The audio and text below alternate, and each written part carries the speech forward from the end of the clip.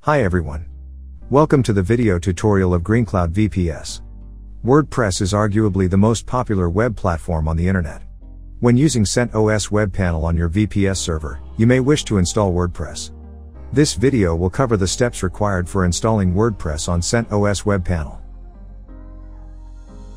Before installing WordPress, you need to make sure that the domain has been successfully pointed to the server IP and that you have installed CWP on the CentOS server. If you do not know how to install please refer to the link that we put on the right corner.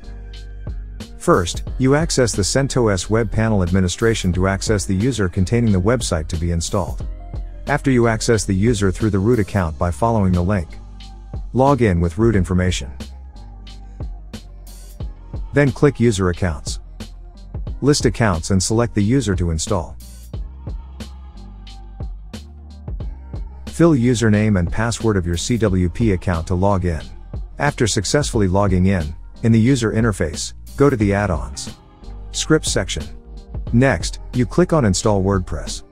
And please fill in the required information as follows. Choose domain. Select the domain to install WordPress.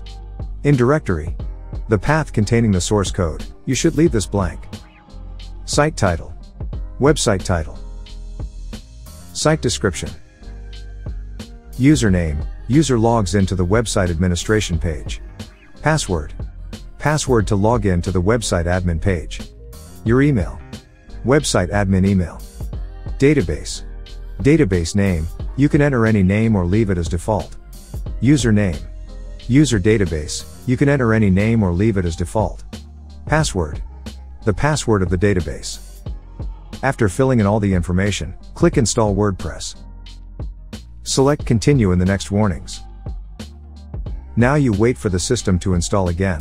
The installation process will take about a few minutes. After the installation is complete, you can visit your website to check. As you see, the installation is successful. To access the website admin page, follow the link. And on the next login sessions, you can log in with the previously created user slash pass. Through this video, we have guided you through how to install WordPress on CentOS web panel. Hope you can install it successfully.